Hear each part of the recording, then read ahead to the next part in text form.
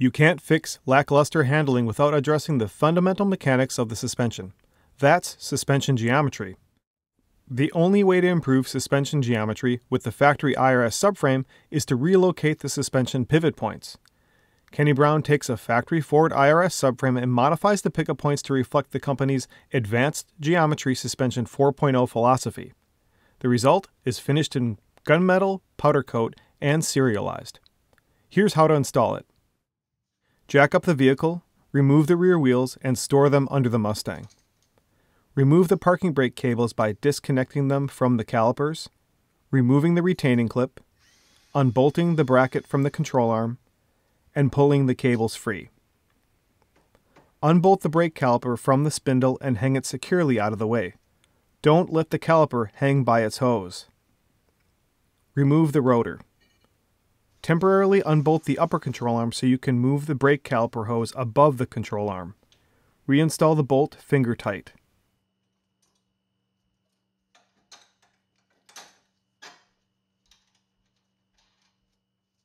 If you have traditional rear coil springs installed, support the lower control arm with a jack.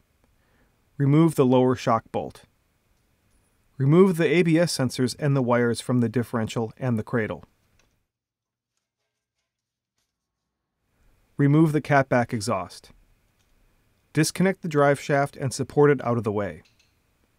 Use a wide 2x6 and a floor jack to support the IRS assembly under the differential.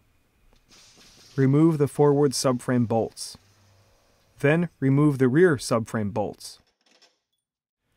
Carefully lower the IRS assembly, stopping along the way to free the mounts from the chassis and check for any hangups. Also confirm the subframe is balanced on the board before lowering it completely.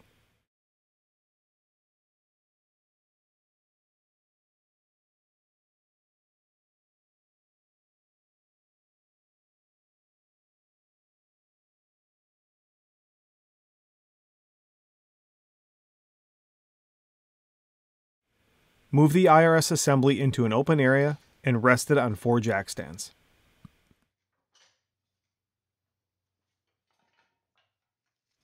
Remove the sway bar end links.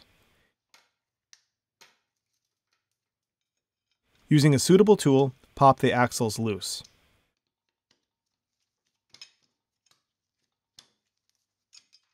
Remove the upper spindle to control arm bolt.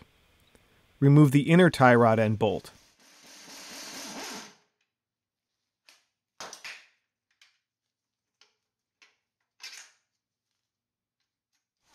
Remove the lower spindle to control arm bolt. Carefully remove the axle and spindle assembly. Cover the holes in the differential with tape. Remove the rear sway bar. Support the differential. Remove the rear differential mount bolt.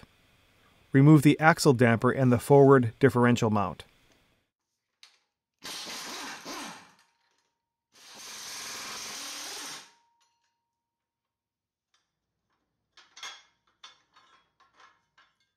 Remove the differential mount bolts. Remove the differential. Remove the rear chassis brackets. They will not be reused, but save the hardware. Install the Kenny Brown upper control arms to the improved geometry IRS carrier. Refer to the instructions for the control arms for the torque specification. Install the lower control arms. Refer to the instructions for the Kenny Brown lower control arms for torque specification. Install the forward differential bushings and torque brace. Torque the front differential bolts to 50 pound-feet. Install the front control arm bolts. Refer to the instructions for the torque specification. Install the axle and spindle assemblies, being careful not to nick the seals with the axles. Install the Kenny Brown rear steer kit per the instructions.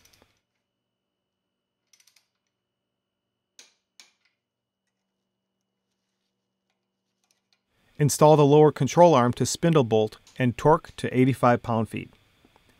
Install the upper control arm to spindle bolt. Install the sway bar and end links.